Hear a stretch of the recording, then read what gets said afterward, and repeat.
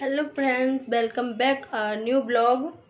और आज मैंने जॉब से छुट्टी ली है। जॉब तो मेरी दो या तीन घंटे की होती है, लेकिन फिर भी मैंने थोड़ी छुट्टी ली है क्योंकि मेरा राशन कार्ड जो है, काट दिया गया। पिछले महीने मुझे राशन नहीं दिया था।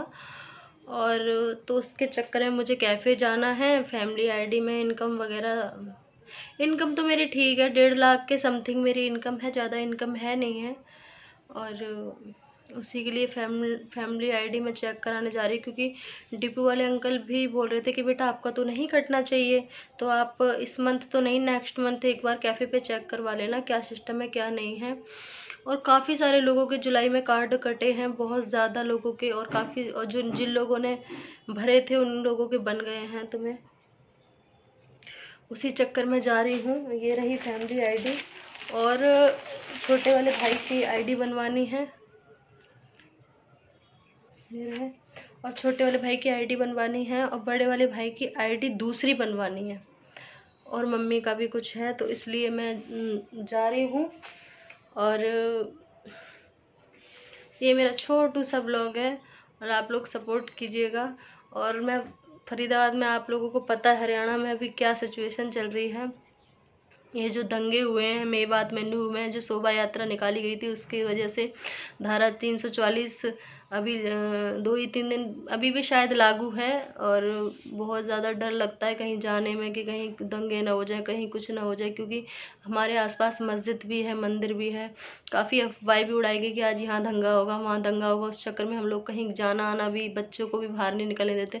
इस बीच स्कूलों की, काफ़ी स्कूलों की भी छुट्टियाँ कर दी गई। सुबह मैसेज फ़ोन खोल कर देखा, मैसेज आया कि स्कूल की छुट्टी है और इस बीच अभी बच्चों की यूटी चल रही है, यूनिट टेस्ट चल रहे हैं तो बच्चे वैसे टेस्ट करके एक बजे ही उनकी छुट्टी होती थी, लेकिन मैम पेपर करवा मतलब यूनिट टेस्ट करवाते ही साढ़े नौ बजे बच्चों की छुट्टी करती क्योंकि ऊपर से गवर्नमेंट के ऑर्डर्स थे। कुछ भड़काऊ दल होते हैं शरारती तत्व जो होते हैं मतलब इस चीज़ में ज़्यादा बढ़ावा देते हैं।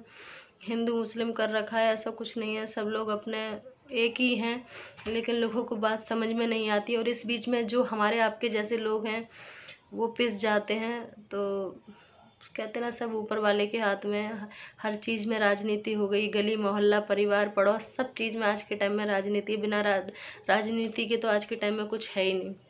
ये जो राशन कार्ड कटे हैं ना इसमें भी राजनीति है। हमारी गली में पानी नहीं आता इसमें भी राजनीति है। इसमें राजनीति ये है हम जाएँगे पार्षद के पास पिछले पिछले मतलब पूर्व पार्षद, इन आदि पब्लिक, कहीं आदि पब्लिक, कहीं, अरे उनकी वजह से पानी आ रहा है, उनको वोट देंगे। उनकी वजह से वो टैंकर भेज रहा है उनको। तो भाई, टोटल मिला के मतलब मरना आम जनता का ही, हमारे तुम्हारे जैसों का है। कहीं से कोई राहत नहीं, कहीं से कुछ नहीं। और काम ऑलरेडी मेरा सारा हो चुका है, बच्चे गए हैं स्कूल। और बाल्टी में थोड़े से कपड़े पड़े हुए हैं तो वो मैं आके धोऊँगी और प्लीज़ आप लोग मुझे सपोर्ट कीजिएगा। मैं मतलब क्या ही बयां करूँ अपने उससे। बहुत ज़्यादा वो हो जाती है एक एक यूट्यूब का ही मुझे सहारा बचा है। तो इस सारे को मैं खोना नहीं चाहती, आप लोग समझते हो। और मैं इतनी पढ़ी, मेरी क्वालिफ़िकेशन इतनी है नहीं कि मैं कोई हाई फाई जॉब कर पाऊँ, कुछ कर पाऊँ, बच्चों के साथ में जॉब भी नहीं हो पा रही है। अभी दो तीन घंटे का काम है, उसमें दो चार हज़ार रुपये मिल जाते हैं तो अपना गुजारा हो जाता है, कोई दिक्कत नहीं है। और बाकी सपोर्ट के लिए मम्मी पापा बैठे हैं।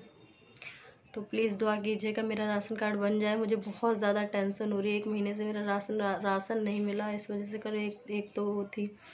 काफ़ी सारे लोगों का बना भी है तो मैं उसी चक्कर में जा रही हूँ। और सही पूछूँ, मैं आपको बताऊँ मेरी इतनी इनकम है भी नहीं लेकिन इससे कम मैं लिखवा नहीं सकती। शायद लिखवा लूँ मैं कैफ़े वाले भैया से पूछूँगी। तो मैं चल रही हूँ नीचे मम्मी रेडी हैं। मम्मी को और भाभी को लेके जाऊँगी क्योंकि ओटीपी उनके फ़ोन में आएगा।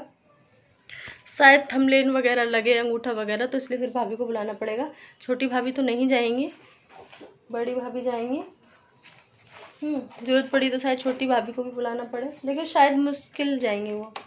तो हम लोग चलते हैं और ये मेरा किचन। और आज मैंने आलू उबाल के आलू की सब्ज़ी बनाई थी तो बड़ा बेटा बोला, मम्मा, मुझे पराठे खाने तो दो आलू मीस के उसके लिए पराठे लंच में भेज दिए और छोटे बेटे के लिए भेज दी। वो बनाती ना लंगड़ में, वैसी कुछ टाइप में सब्ज़ी बनाई थी मैंने।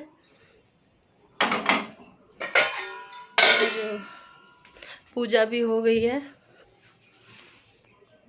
हर हर महादेव, बजरंगी भैया बैठे हो रहे देख आपको। और मुझे एक ना पंचमुखी पंचमुखी हनुमान जी की मूर्ति भी मतलब तस्वीर लेके आनी है। और कुछ आ, किस लिए लेके आनी क्यों लेके आनी है वो मैं आप लोगों को बताऊँगी अपने नेक्स्ट व्लॉग में। तो ये मेरा छोटू सा व्लॉग है और प्लीज़ मेरे चैनल को सब्सक्राइब कीजिएगा और मुझे सपोर्ट कीजिएगा। धन्यवाद। आपकी प्यारी प्रियंका।